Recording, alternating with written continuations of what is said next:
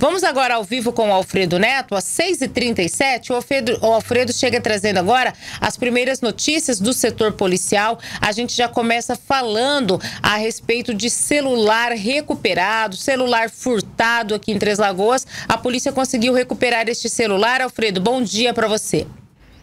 Olá, bom dia, Ana. Bom dia a todos que nos acompanham. Celular esse, Ana, que teria sido furtado no dia 15. Após um trabalho de investigação, os policiais da terceira delegacia de Polícia Civil conseguiram descobrir com quem estaria esse aparelho celular, o próprio autor do crime. Os policiais foram até um homem de 49 anos que, após ser identificado, foi localizado pelos policiais e para os investigadores confessou que teria furtado o aparelho celular e estaria com o mesmo, o mesmo estaria guardado, escondido para ser vendido posteriormente. O aparelho celular foi recuperado, foi entregue para a vítima, o homem foi autuado por crime de furto qualificado e por ter passado o período de flagrante, o mesmo acabou aí sendo liberado para responder o processo em liberdade. Crimes como esse são rotineiros e fica aquele alerta para quem quer comprar um aparelho celular e busca formas mais baratas de adquirir, como aplicativos de compra e venda ou sites aonde as pessoas vendem ali aparelho celular de forma aleatória com preço abaixo do mercado, dizendo que posteriormente entrega nota. Aparelhos como esse é possivelmente aí fácil de ser rastreado pela polícia e infelizmente quem acaba comprando um aparelho celular desse, mesmo que de forma enganosa, sem saber que esse aparelho é produto de furto, acaba respondendo por receptação.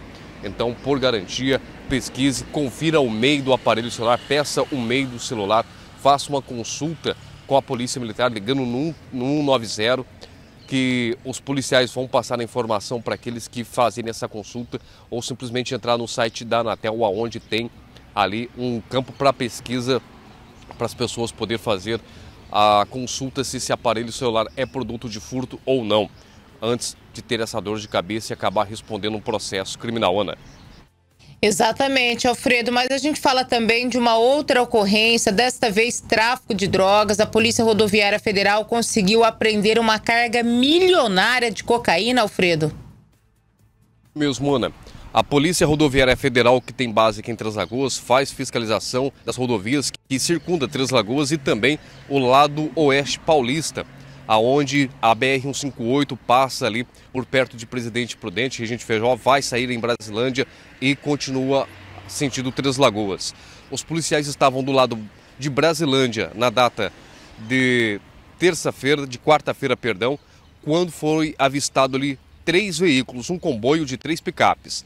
Picapes essas que foram perseguidas pelos policiais, cruzaram a ponte que divide os dois estados, foram para o lado paulista e do lado paulista, duas picapes estrada foram abandonadas, com elas 234 quilos de cocaína, que se fossem vendidas pelo valor desatualizado, mas que a gente conseguiu levantar por uma organização não governamental que levanta esses valores para o combate do tráfico de drogas, daria 15 milhões de reais. Droga essa que foi apreendida levada para a delegacia de Andradina, perdão. Lá a droga foi entregue junto com os veículos. A dupla que dirigia o carro conseguiu fugir e um dos carros, que seria uma outra Fiat Strada. Mas durante ontem, as buscas que os policiais faziam ali pelas rodovias locais do estado de São Paulo, a PRF conseguiu localizar os dois homens que dirigiam esses carros, junto com eles os aparelhos celulares. Ambos receberam voz de prisão, confessaram que seriam motoristas desses carros eram naturais de Campo Grande, teriam recebido R$ 7.500 para levar os carros carregados de cocaína de Campo Grande até a cidade de Pereira Barreto, no estado de São Paulo, aonde carro esses que seriam entregues para outros traficantes que levariam esse entorpecente para a capital paulista e lá seria distribuído em grandes polos para os traficantes. Agora fica para a Polícia Civil do Estado de São Paulo e para a Polícia Federal descobrir quem seriam o remetente desse entorpecente e também o destinatário para evitar que mais entorpecentes como esse acabem chegando em grandes polos e, é claro, também assim combater que traficantes que enviam essas drogas da Bolívia para o Brasil acabem fornecendo mais entorpecentes e entorpecentes esses que acabam chegando também em Três Lagoas, fazendo pessoas reféns do mundo do vício e famílias destruídas por conta do uso desse entorpecente, Ana.